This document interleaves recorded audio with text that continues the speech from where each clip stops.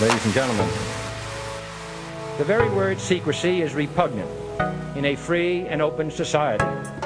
And we are, as a people, inherently and historically opposed to secret societies, to secret oaths, and to secret proceedings.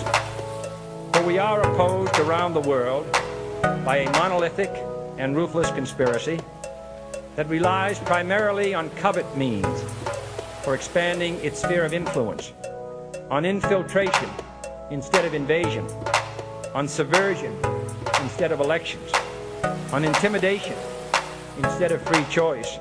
It is a system which has conscripted vast human and material resources into the building of a tightly knit, highly efficient machine that combines military, diplomatic, intelligence, economic, scientific, and political operations.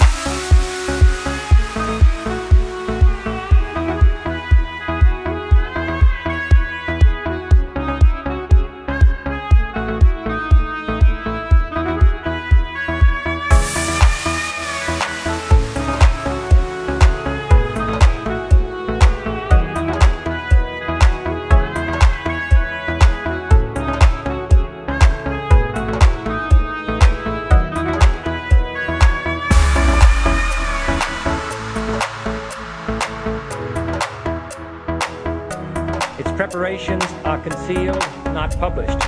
Its mistakes are buried, not headlined. Its dissenters are silenced, not praised. No expenditure is questioned, no secret is revealed. That is why the Athenian lawmaker Solon decreed it a crime for any citizen to shrink from controversy.